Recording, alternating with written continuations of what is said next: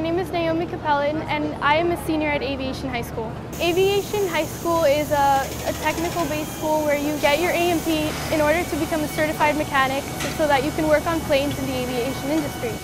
Within aviation, there's so many different things you can do. You can be a flight dispatcher, you can be an air traffic controller, you can work with the planes as an aircraft mechanic, you can work at the airport, or you could go and work for a manufacturing company. I'm excited about the different places I might be led to with this. I didn't realize how great I was at hands-on work and just how much I loved it until I was actually here. I would have never discovered that my love for aviation extended past just air traffic controlling. I want to do aviation management, but I would have never found my way there without this school. You're part of this bigger team that's working to get the airplane out. You take pride in your work because it's your responsibility to get this and to make sure everything's done correctly and safely.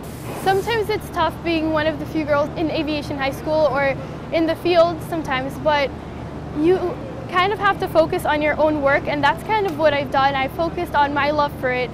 I focused on my dedication to it, my fascination for being able to do something myself and mastering a project on my own.